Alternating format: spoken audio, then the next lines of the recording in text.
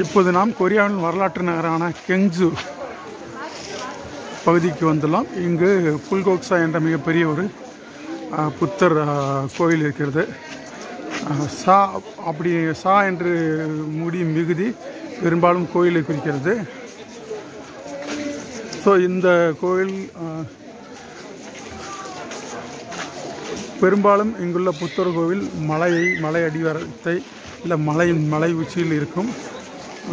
இக்கோயிலும் அவ்வாறு அமைந்துள்ளது. இது இலையுதிர் காலம் என்பதால் மரங்களின் இலைகளின் நிறம் மாறுவதையும் இந்த இலையுதிர்வால் மரங்கள் பசுமை நிறத்திலிருந்து